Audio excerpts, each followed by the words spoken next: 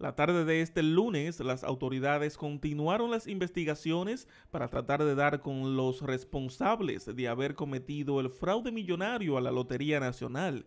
En ese sentido, el abogado Mónico Sosa, representante legal del discapacitado visual Miguel Mejía, acudió nueva vez a la Procuraduría General de la República y al ser cuestionado por los medios, aseguró desconocer las declaraciones de su defendido durante la mañana de este lunes, donde admitió haber recibido la suma de 800 mil pesos para cometer el acto. Yo no supe ni siquiera lo que dio, pues yo estaba en una audiencia y después que me estaba informando, pero no era producto de eso, no, no. Yo no tengo ninguna información definida sobre eso. Es que yo no puedo, en un caso que esté en investigación, afirmar o negar ningún tipo de decisión que él haya tenido.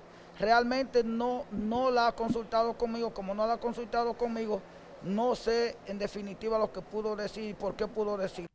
Luego de permanecer aproximadamente 40 minutos supuestamente en la oficina de la procuradora adjunta Jenny Berenice Reynoso, Mónico Sosa procedió a retirarse y aprovechó la ocasión para repudiar la acción de la Lotería Nacional de supuestamente haber cancelado a más de 30 ciegos tras el fraude.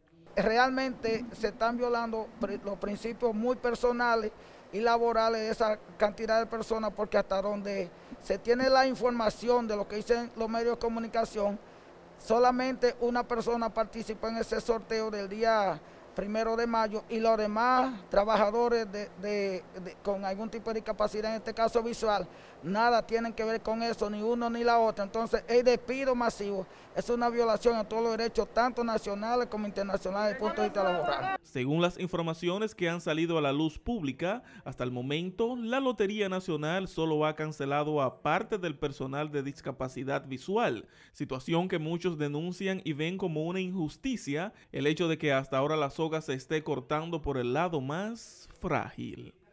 Santiago Druyart, Informativos Teleantillas.